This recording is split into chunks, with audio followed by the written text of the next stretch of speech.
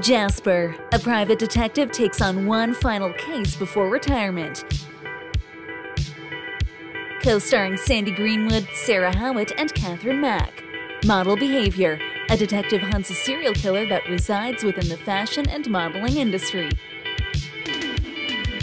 Co starring Dame Hill, Collie Williams, and Scarlett Vas.